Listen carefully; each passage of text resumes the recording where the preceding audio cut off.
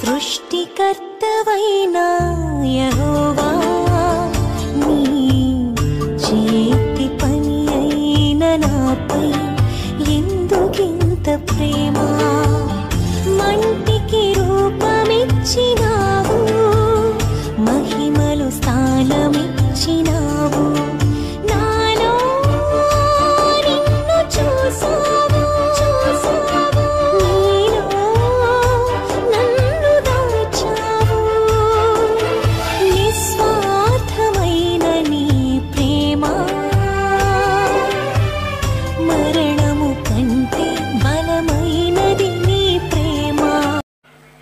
ప్రభు అయినటువంటి యేసయ్య నామంలో తండ్రి అయిన దేవాది దేవునికి నిత్యము స్తుతియు స్తోత్రములు మహిమయు ఘనతయు ప్రభావములు యుగయుగములు ప్రభునకే చెలునుగాక. ఆత్మీయులారా బాగున్నారు కదూ? మరో పర్యాయం మనం ఎలాగున కలిసి దేవుని వాక్యమును ధ్యానం చేయడానికి దేవుడు అనుగ్రహించిన మంచి తరుణాన్ని బట్టి ప్రభుని ఎంతగానో స్తుతించబద్దులమై ఉన్నాం. దేవునికి స్తోత్రాలు. రేపటి దినాన పునరుత్న ఆదివారం మనమందరం గడిచిన దినాల్లో ప్రభు మనల్ని కాచి కాపాడిన విధానాన్ని బట్టి ప్రభుని ఎంతగానో స్తుతించుటకు సమయం ఆసన్నమవుచున్నది. మనలను మనము ప్రభు కొరకు సిద్ధపరచుకుందాం. నేటి దిన వాక్య ధ్యానమై ఆది కాండము ఇరవై ఎనిమిది అధ్యాయం ఇరవై రెండో వచ్చినం మరియు స్తంభముగా నేను నిలిపిన ఈ రాయి దేవుని మందిరమగును. మరియు నీవు నాకిచ్చి యావత్తులో పదియవ వంతు నిశ్చయముగా నీకు చెల్లించదనని మొక్కుకొనెను. ప్రార్థన. తండ్రి దేవా స్తోత్రం. మీ నామంలో ప్రార్థిస్తున్నాము. సహాయం చేయండి. మీ కృపచేత ఆదరించండి. మీ దీవెన ఆశీర్వాదము దయచేయండి. మేలుతో మమ్మును నింపుమని మహిమ పొందమని ఏసయ్య నామం అడుగుచున్నాం మా పరమ తండ్రి. ఆమెన్. ఆత్మీయులరా ఈరోజు మనము దశమ భాగాన్ని గురించి ధ్యానం చేయబోతున్నాము. యాకోబు మొక్కుబడి చేసుకున్నాడు. నాలుగు విషయాలు ప్రభువుని అడిగారు. ఒకటి తోడై ఉండి రెండు కాపాడి మూడు తినుటకు ఆహారం నాలుగు ధరించుకోవడానికి వస్త్రాలు గనక ఇచ్చినట్లయితే నేను తిరిగి వచ్చినప్పుడు ఒకటి మందిరం కడతానని రెండు పదివ వంతునిస్తానని అక్కడ యాకోబు మొక్కుబడి చేసుకున్నాడు. ప్రిలరే ఈ అధ్యాయం ఈరోజుతో మనం ముగించాలనుకుంటున్నాం. అయితే విషయం ఏంటంటే తాను పదివ వంతు చెల్లిస్తాను అంటున్నాడు పదివ వంతు అంటే అర్థం ఏంటి మనము కష్టించినటువంటి దానిలో దేవుడు మనకిచ్చిన దానిలో పదివ భాగమును ఇవ్వడం. బహుశా ఇప్పటికే ఈ వాక్యాన్ని వినేటువంటి వారికి కొందరికి ఒక ఆలోచన రావాలి. దశమ భాగం కొరకు మాకు తెలీదా? మేము ఎలా ఇవ్వాలో మాకు తెలీదా?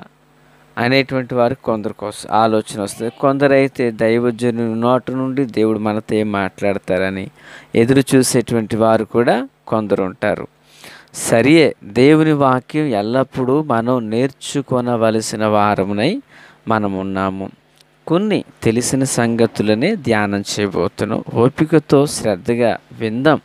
నీ జీవితానికి నా జీవితానికి ఉపయోగపడుతుంది అనుకుంటే హృదయంలో దాచుకుందాం. ఇది నాకు అక్కర్లేదనుకుంటే ఎవ్వరమేం చేయలేం కదా. సరే అంశం. దశమ భాగం. పదియ వంతు. ప్రియులరా పాత నిబంధన ఆది కాండం నుండి పాత నిబంధన ముగింపుదైన మరి ముప్పై తొమ్మిదవ పుస్తకమైన మలాఖీ గ్రంథం వరకు మరి ఎన్నోసార్లు దశమ భాగమును గూర్చిన ప్రస్తావనలు మనం చూస్తాం. ఇక నూతన నిబంధనలో లేదా అంటే నూతన నిబంధన ఎందు కూడా వ్రాయబడింది అయితే నూతన నిబంధన ఎందు ఉన్నది ఏంటంటే దశమ భాగము కంటే ఎక్కువగా ఇవ్వమని ఉంది సో కొందరు ఏమంటున్నారంటే అంటే ఈ సోషల్ మీడియాలో గొప్పవారం అంటూ కనపడేటువంటి కొందరు చెప్పే ధోరణి ఎలా ఉంటుందంటే నేను తరచుగా చూడను వినను.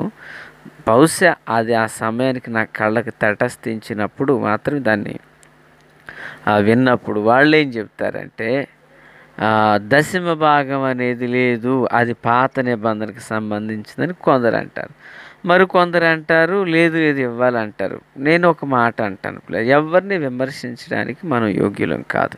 ఒక మాట గుర్తుపెట్టుకుందాం.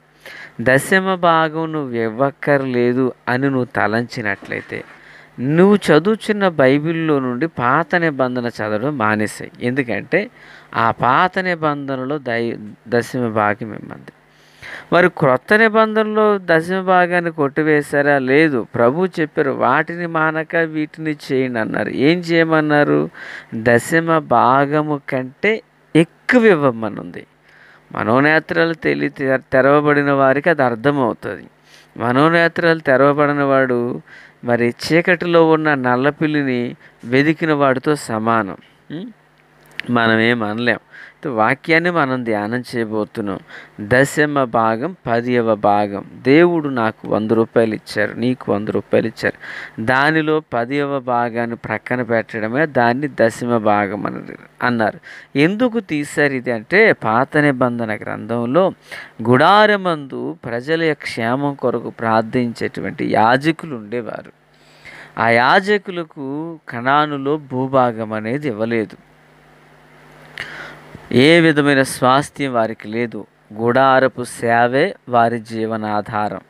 వారు బ్రతకడం కొరకు గుడారపు సేవ. కనుక దేవుని ఆలయంలో పనులు జరగడానికి ఈ యాజకులు వాళ్ళు కూడా మనుషులే కదా బ్రతకాలి కదా. వారును పూజించుటకు గాను మందిర సేవ జరుగుటకు గాను దశమ భాగాన్ని ఇచ్చేవాళ్ళు ఇప్పుడు కొందరు ఏమనుకుంటున్నారంటే పిల్లరా మరి నేను కూడా అంటే ఈ వాక్యానికి నన్ను కూడా కలుపుని చెబుతున్నావు. కొందరు ఏమనుకుంటున్నారంటే మేమిచ్చిన దాంతో పాస్టర్ ఇదంతా కట్టేస్తున్నాడని కొందరు ఇవ్వవలసిన దశం భాగాన్ని కూడా ఇవ్వకుండగా వారు వారు ప్రభురాత్రి భోజనం తీసుకుంటూ కూడా వేరే వేరే చోటికి పంపించేటువంటి వాళ్ళు కూడా ఉన్నారు. అది మనకు నష్టమేమీ లేదు. నిజానికి ఈ మనం ఎక్కడైతే ఆత్మ సంబంధమైన ఆహారాన్ని భుజిస్తున్నామో నమ్మకంగా అక్కడ మనం ఇవ్వాలి. అది వాక్యము యొక్క కొలమానం. సో కొందరు ఏం చేస్తారంటే వారు నెల నెలల తరబడి దశమ నుంచి నెలలు నెలలు అయిపోయినా వారికి ఇవ్వడానికి మనసు ఉండదు. తద్వారా అర్థమయ్యే విషయం ఏంటి? వాళ్ళు పిసినారు వాళ్ళని. తప్పేముంది? వాళ్ళు ఇవ్వకపోవడం ద్వారా సేవకునికి మందిరానికి నష్టమేమీ లేదు. ఇవ్వకపోవడం ద్వారా ఎవరు నష్టాన్ని చూస్తారంటే వారికే నష్టం. ఎందుకు నష్టము? అంటే సంఖ్యాకాండంలో ఏమనుంది? క్షమించండి. లేవ్యాకాండంలో దశమ భాగము దేవుని సొమ్ము అనుంది. పిల్లారా మరి ఒకసారి మాట కూడా చదువుకుంటే మనకు అర్థమవుతుంది. లేవ్యాకాండమునందు మరి చివరి అధ్యాయము ఇరవై ఏడవ అధ్యాయంలో ముప్పై వచనంలో భూధాన్యములలోనేమి భూ వృక్ష ఫలములోనేమి భూఫలములన్నిటిలో దశమ భాగం యహోవా సొమ్ము. అంటే నీ దగ్గర ఉన్నటువంటి సహోదరి వింటున్నావా? సహోదరుడు వింటున్నారా? నీ దగ్గర ఉన్న దానిలో నీకు ప్రభు ఇచ్చిన దానిలో పదియవ భాగము నీది కాదు అది దేవుని సొమ్ము. ఒకవేళ నువ్వు ఈ మాటను అంగీకరించకపోతే దయచేసి నీ బైబిల్లో పాత నిబంధన ముప్పై తొమ్మిది పుస్తకాలు తీసి ప్రక్కన పెట్టేయి. లేదయ్యా వాక్యం దేవుడు నాకు కావాలంటావా? ఈ హృదయ ఈ మాటలు హృదయం హృదయం అనబడిన పలక మీద సువర్ణక్షరాలతో లిఖించుకో. దశమ భాగం దేవుని సొమ్ము. అంతే నువ్వు అవునన్నా కాదన్నా. నువ్వు ఇచ్చిన నువ్వు దొంగిలించి దొంగవైనా నాకు అనవసరం. దశమ భాగము దేవుని సొమ్ము. అది దేవునిది. దేవునికి ఇచ్చేయాల ఈ మాటలో ఉంచిన ఆత్మీయులారా ఓ సహోదరి సహోదరుడా మీ ఇంటికి ఒక సహోదరుడు వచ్చి నీకు తెలియకుండగా నీ యొద్ద నుండి ఒకటి పట్టుకుపోయాడనుక ఆ వ్యక్తి నువ్వేమంటావు? దొంగ అంటావు కాదు. సాల్వ వేసి సన్మానం చేస్తావా? మరి దేవుని సొమ్ము నువ్వు దాచిపెట్టుకోవడం తప్పు కాదా? దేవుని సొమ్ము నువ్వు వాడుకోవడం నువ్వు దొంగవు కాదా? దేవుని సొమ్ము దేవుని సేవ కొరకు ఇవ్వకుండగా నీ సొంత ఖర్చులకు ఉపయోగించుకోవడం రక్షించబడిన సంఘంలో ప్రభు బల స్వీకరించిన సంఘంలో నువ్వు ఇవ్వకపోవడం నువ్వు దొంగవు కాదా? దొంగ చేసే ప్రార్థన దేవుడు వింటాడా? దశమ భాగమియ్యని వ్యక్తి దొంగ. మీరు అవునన్నా కాదన్నా ఇది వాస్తవం అంతే. ప్రియులారా అది దేవుని సొమ్ము. దేవునిది దేవునికి ఇవ్వకపోవడం ఆ వ్యక్తి దొంగ అవుతున్నాడు. మరి ఇక నువ్వు దొంగ ద్వారా అనేది నీ నిర్ణయం మీద ఆధారపడి ఉంటుంది. నాకు తెలియదు ఉన్న వాక్యం అది. అది దేవుని సొమ్ము. దేవునిది దేవునికి ఇవ్వాలి. ఇవ్వకపోతే ఏమవుతుంది? నువ్వు దొంగవే కదా. దొంగ చేసే ప్రార్థన దేవునికి అక్కర్లేదు. దొంగ చేసే ఆరాధన ప్రభువు నాకు అక్కర్లేదు. ఏమిటి కొందరు సమస్యల్లో ఉండి అప్పుల్లో ఉండి ఇవ్వలేకపోతున్నారండి. మరి దొంగవాడు దొంగిలించినప్పుడు మరి ఎలాగున అభివృద్ధి చెందుతారు? ఆత్మీలారా ఒకవేళ ఈ మాటలు కొంచెం నొప్పి కలిగించిన ఒక్కసారి మనసు పెట్టి మనం ప్రశాంతంగా ఆలోచన చేద్దాం. దశమ భాగం అనేది దేవుని సొమ్ము. యాకోబు అంటున్నాడయ్యా నాకు ఇచ్చేదాని అంతట్లో నాలుగు విషయాలు అడిగి రెండు పనులు చేస్తానంటున్నాడు. ఇచ్చే యావత్తులో దశమ భాగాన్ని నీకు ఇస్తానయ్యా అన్నాడు. ఆత్మీయులరా మరి నీ జీవితంలో పని చేస్తున్నావా? ఒకవేళ నువ్వు చేస్తూనే ఉంటూ ఇంకా నువ్వు సమస్యలు ఉన్నావంటే దేవుడు నిన్ను విడిచిపెట్టేశాడు అనుకోకు. నీ ఇరుకులో నుండే దేవుడు నీకు విశాలతనిస్తాడు ఒకవేళ నెలల తరబడి ఇవ్వకుండా నీ దగ్గరే దాచిపెట్టుకుంటూ ఒకవేళ పాస్టర్ గారికి ఇచ్చేస్తే స్థలం తీసుకుంటున్నారు మందిరం కట్టేస్తున్నారు అనుకుంటున్నావేమో. ఎస్తేరుతో మొరదకాయ అంటాడు నువ్వు సహాయం చేయడం మానివేస్తే మరో దిక్కుండి సహాయం వస్తుంది. దేవుని పని ఎప్పుడూ ఆగదమ్మా. ఆయన తన కార్యాన్ని జరిగిస్తాడు. విషయం ఏంటంటే నిన్ను నిలవబెట్టి నీ ద్వారా జరిగించాలనుకుంటున్నాడు. నువ్వు వెనక్కి తీసి నుంచున్నావు. నీ స్థానంలో మరొక వ్యక్తిని దేవుడు నిలవబెడతాడు. నష్టం నీకే ఇస్తారు అంటూ ముద్దకే చెప్పాడు. నువ్వు అర్థం చేసుకుంటే చాలు ఇంకా. సరే ఇక తర్వాత ఈ దశమ భాగము ఎక్కడ ఇవ్వాలి దేవుని ఆలయంలో ఇవ్వాలి. ఎప్పుడు ఇవ్వాలి? బైబిల్లో మనకున్నటువంటి ఒక సందర్భం ఏంటంటే అబ్రహాము ప్రభు బల్లారాధన తీసుకునడానికి ముందుగా ఇచ్చాడు. ఎక్కడ ఇవ్వాలి దేవుని మందిరంలో. ఎప్పుడు ఇవ్వాలి? ప్రభు బలలో పాల్గొన్నప్పుడు. నెలలో ఎన్నిసార్లు ఇవ్వాలి? పాత నిబంధన గ్రంథంలో వారం వారం వాళ్ళు కానుకను వెచ్చించేవాళ్ళు. నేను అంటాను నే ప్రభురాత్రి భోజనం నెలకు ఒకసారి గనక ఆ నెలలో నీవిచ్చుట మంచిది అనేది నా అభిప్రాయం. దేవునికి స్తోత్రం. ఆత్మీయులారా ఇప్పుడు యాకోబు ఇచ్చి దీవించబడ్డాడు. నేను అంటాను ఆత్మీయులారా నేను కూడా ఒకప్పుడు ఇవ్వని వ్యక్తినే. కానీ ఇవ్వడం ఆశీర్వాదమని ప్రభు నేర్పించారు. బోధకుల ద్వారా విన్నాను. వాక్యాన్ని చదివాను. నన్ను నేను కట్టుకున్నాను. దేవుడు నన్ను విడిచిపెట్టలేదు. అంత మాత్రమే కాదు ఈ లివింగ్ గాడ్ మినిస్ట్రీస్ పరిచర్యలో ఆత్మీయ బిడ్డలో కొందరు ప్రభు పనిని గుర్తెరిగి ప్రభు యొక్క పనిలో వాళ్ళు పరోక్షంగా ప్రత్యక్షంగా కాదు పరోక్షంగా నిలిచి ఇది దీని ద్వారా ప్రభు కార్యాలు జరగాలని నమ్మకస్తులైన బిడ్డలో కొందరు ప్రయాసపడుతున్నారు. ఇప్పటికీ మాటలు మీకు అందించబడుతున్నాయంటే దేవుని రాజ్యం కట్టబడుతుందంటే ప్రభు పని జరుగుతుందంటే దీని వెనక కొందరు బిడ్డలు ప్రయాస ఉంది. దేవునికి స్తోత్రం. నేను నిమిత్తం అవుతున్నాయి జస్ట్ నా స్వరాన్నే వీరు వీరు వింటున్నారు.